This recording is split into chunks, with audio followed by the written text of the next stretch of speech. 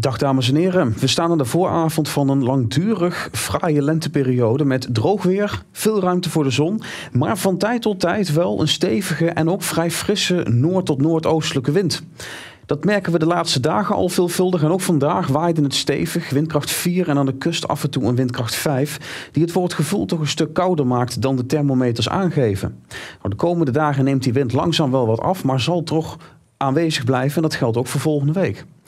Nou, die stevige wind heeft alles te maken met een vrij krachtig hoge drukgebied boven onze omgeving, met name boven de Noordzee.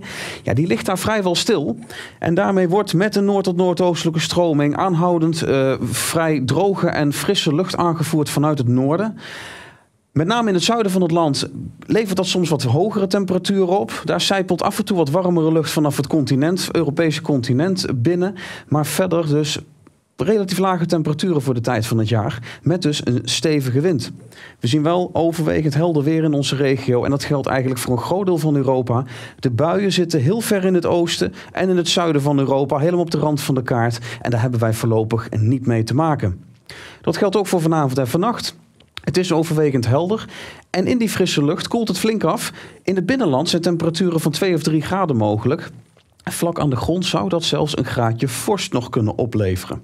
Nou, de wind neemt tijdelijk af, maar wordt morgen overdag weer matig en aan de kust af en toe vrij krachtig, een windkracht 3 tot 5. En verder zien we opnieuw veel zonneschijn. In de middag misschien een paar stapelwolken boven land, maar daar valt verder geen regen uit. En de temperaturen komen beduidend hoger uit dan de afgelopen dagen. Met aan de noordkust zo'n 16 of 17 graden, 20 graden in het midden van het land en in het zuidoosten kan het lokaal 23 graden worden. Nou, op zondag zien we soortgelijke temperaturen. Wel neemt dan de bewolking langzaam wat toe. In het binnenland kunnen ook wat meer stapelwolken ontstaan, maar het blijft opnieuw overal droog.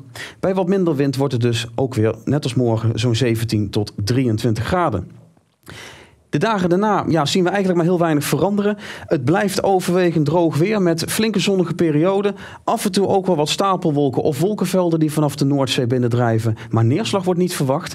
De temperatuur loopt daarbij geleidelijk op naar zo'n 22 à 23 graden in de loop van komende week. Gaan we dan nog wat verder kijken? Ja, dan zien we dat ook dan niet veel verandert. De temperatuur blijft overdag gemiddeld rond de graad of 20 schommelen. Soms iets eronder, soms iets erboven. En de nachten blijven relatief fris voor de tijd van het jaar. Ik wens u alvast een goed weekend.